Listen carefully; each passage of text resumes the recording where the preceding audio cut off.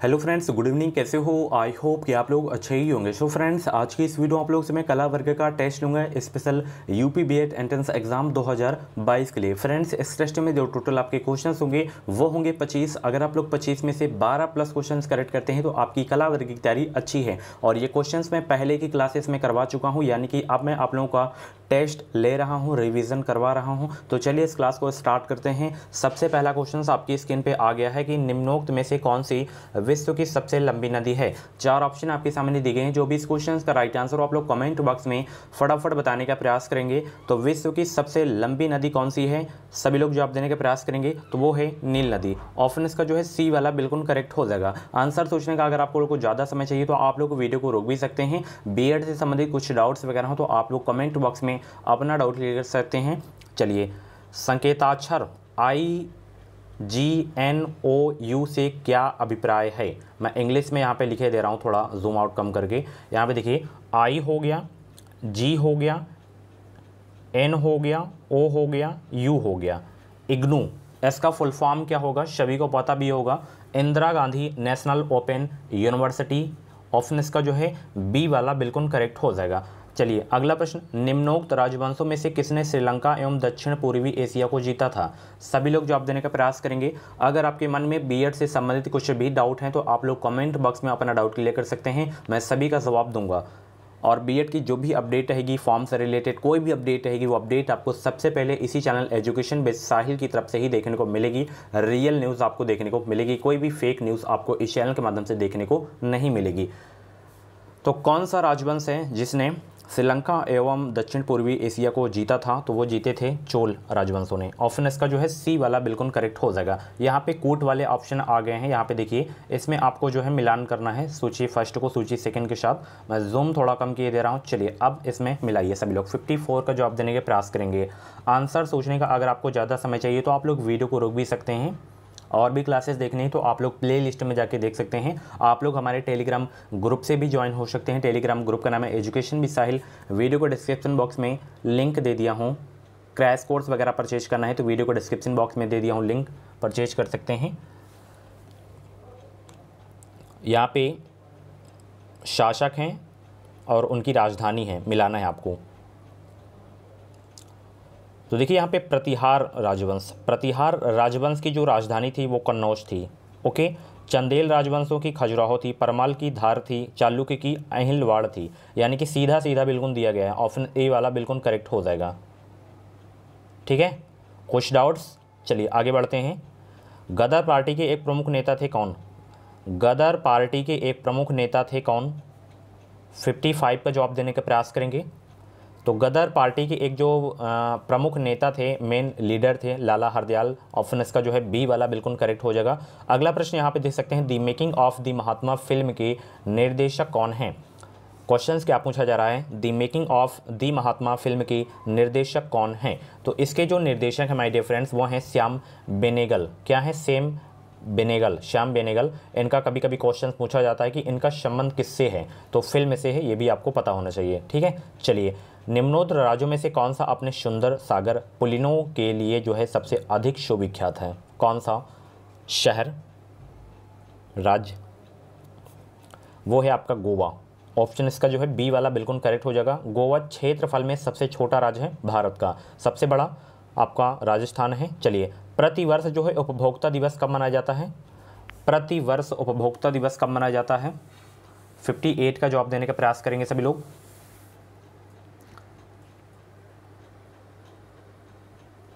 तो प्रतिवर्ष उपभोक्ता दिवस मनाया जाता है। पंद्रह मार्च को ऑप्शन इसका जो है, सी वाला बिल्कुल करेक्ट हो जाएगा। चलिए, तक्षशिला के प्रसिद्ध स्थल के रूप में होने का कारण क्या था? तक्षशिला के प्रसिद्ध स्थल के रूप में होने का कारण था, होने का जो कारण था माय डियर फ्रेंड्स वो था आपका गंधार कला का। ठीक है? ऑप्शन इसका जो है, सी वाला बिल्कुल करेक्ट हो जाएगा। भारत में प्रथम स्वर्ण मुद्राएँ किसने चलाई थी? भारत में प्रथम स्वर्ण मुद्राएँ किसने चलाई? सभी लोग जवाब देने का प्रयास करेंगे। सिक्सटी का राइट आंसर क्या होगा? तो भारत में प्रथम स्वर्ण मुद्राएँ जो है चलाई थी, यूनानियों ने ऑफनेस का जो है बी वाला बिल्कुल करेक्ट हो जाएगा। जितने भी लोग टेस्ट को दे रहे हैं, फटाफट वीडियो को लाइक कर देंगे। और टॉपिक वाइज की क्लासेस बहुत ही जल्द स्टार्ट कर रहा हूँ। आप लोग बताइए कब से स्टार्ट करूँ? जब से आप लोग बोल देंगे, तुरंत मैं स्टार्ट कर दूँगा। और आज की वीडियो का जो लाइक का टारगेट है, डेढ़ सौ। ज़्यादा नहीं, डेढ़ सौ लाइक चाहिए। अगर डेढ़ सौ लाइक इस वीडियो में आ गया तो कल से आपकी टॉपिक वाइज की क्लास स्टार्ट हो गई, हो जाएगी, ठीक है? जीके की भी, चलिए। सती प्रथा को निरुत्साहित करने वाला मुगल सम्राट था कौन? सती प्रथा को निरुत्साहित करने वाला मुगल सम्राट कौन था? तो वो था अकबर। ऑप्शन इसका सी वाला बिल्कुल करेक्ट हो जाएगा। चलिए, मराठा राज्य का दूसरा प्रवर्तक जो है, किसे माना जाता है? सभी लोग जवाब देने का करेंगे। मराठा राज्य का दूसरा प्रवर्तक किसे माना जाता है? तो ये माना जाता है राजा राम को ऑप्शन इसका ए वाला बिल्कुल करेक्ट हो जाएगा। सूची फ़र्स्ट को, सूची सेकंड से मिलान करना है। सिक्सटी थ्री का जवाब देने का प्रयास करेंगे सभी लोग।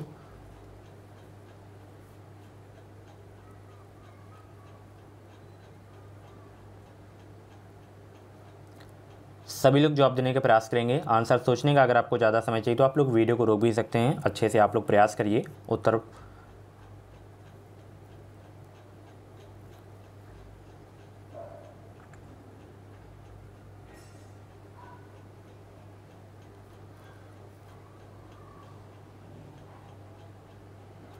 सभी लोग जवाब देने का प्रयास करेंगे।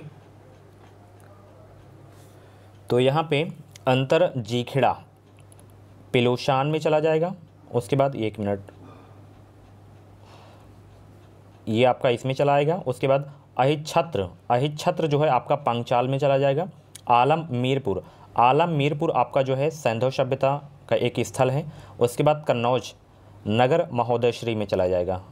ए में। यानी कि ए वाला आपका सही है। ठीक है? चलिए, इसको आप लोग नोट कर लीजिएगा। इसमें भी आपको मिलान करना है उसी तरह। चलिए सिक्सटी फोर का जवाब दीजिए सभी लोग।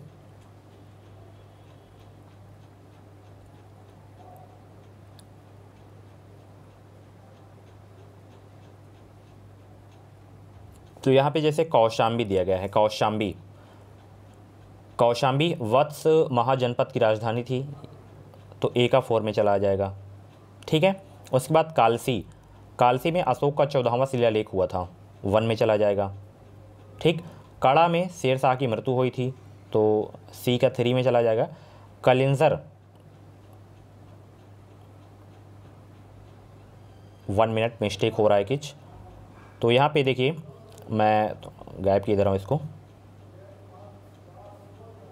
यहाँ पे मैं कड़ा वाला को इसको बोल दिया था। तो कड़ा में सुल्तान जलाउद्दीन खिलजी की हत्या हुई थी और कलिंजर की जो है शेर शाह की मृत्यु हुई थी कलिंजर में। ठीक है? ए वाला, बी वाला इसमें सही हो जाएगा, बी वाला। आप लोग अच्छे से नोट कर लीजिएगा। कुछ डाउट्स है तो कमेंट बॉक्स में डाउट क्लियर करें। चलिए, इसमें भी आपको इसमें ही मिलान करना है उसी तरह। सिक्सटी फाइव का जवाब देने का प्रयास करेंगे।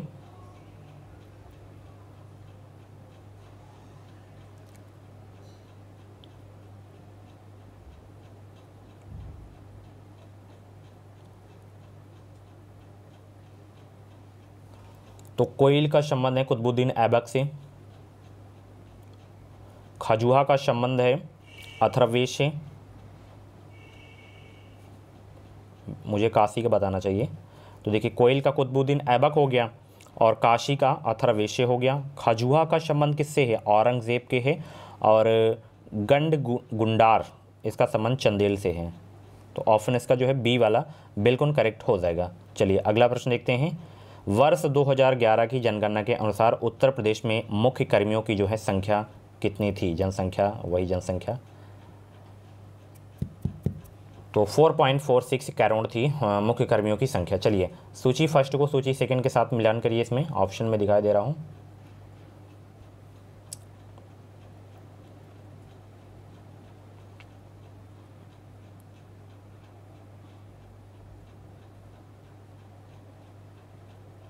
तो चंदावर मोहम्मद गौरी से संबंधित है, यानी कि ए का टू में चला आ जाएगा। उसके बाद चुनार चुनार चुनार जो है मलिक हुसैन सरकी से संबंधित हैं। ठीक है? यहाँ पे देखिए, चंदावर जो है, चंदावर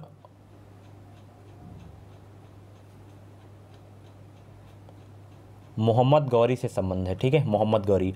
और यहाँ पे चुनार चुनार का संबंध शेर शाह सूरी से है। उसके बाद जौनपुर, मलिक हुसैन सरकी से एंड झांसी बीर सिंह बुंदेला से। तो इसका जो ऑप्शन होगा ये वाला, यानी कि ए का टू बी का फोर सी का थ्री डी का वन आप लोग इसे अलग अलग लिख लीजिएगा, तब आपके समझ में आ जाएगा। टर्की की राजधानी क्या? टर्की की राजधानी बताइए क्या है? टर्की की राजधानी है अंकारा। निम्नलिखित में से किस दिन विश्व जल दिवस के रूप में मनाया जाता है? विश्व जल दिवस के रूप में मनाया जाता है कब? 22 मार्च को, ठीक है? ऑप्शन इसका जो है ए वाला बिल्कुल करेक्ट हो जाएगा। अगर विश्व पृथ्वी दिवस पूछे तो 22 अप्रैल याद रखना है, ठीक है? 22 अप्रैल। चलिए, बांग्लादेश की मुक्ति के समय पाकिस्तान के शासक कौन थे? बांग्लादेश की मुक्ति के समय पाकिस्तान के शासक कौन थे? तो वो थे याह खान। चलिए, इनमें से किस राज्य की लिंग अनुपात एक हज़ार से अधिक है? तो केरल राज्य की लिंग अनुपात एक हज़ार से अधिक है। ऑप्शन इसका जो है डी वाला, बिल्कुल करेक्ट हो जाएगा। चलिए, हॉकी विश्व कप टूर्नामेंट 2018 कहाँ आयोजित हुआ था? ये आयोजित हुआ था अपने देश भारत में ही, ठीक है? चलिए, निम्नलिखित में से एक को छोड़कर सभी समुद्र तट, भारतीय प्रायद्वीप पश्चिम में अकेला कौन सा है?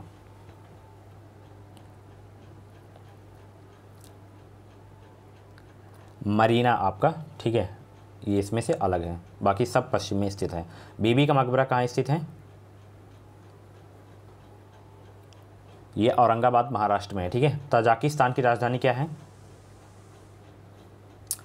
तजाकिस्तान की राजधानी है दूशा नवे ऑप्शन का जो है सी वाला बिल्कुल करेक्ट हो जाएगा। शो फ्रेंड्स ये थे कला वर्ग के टॉप 25 क्वेश्चंस ट्वेंटी 25 क्वेश्चंस में से आपके जितने भी क्वेश्चंस करेक्ट हुए हों तो आप लोग अपना नाम और स्कोर कमेंट बॉक्स में ज़रूर बताइए। ऐसी ही वीडियोज़ देखने के लिए आप लोग हमारे चैनल से जुड़े रहें।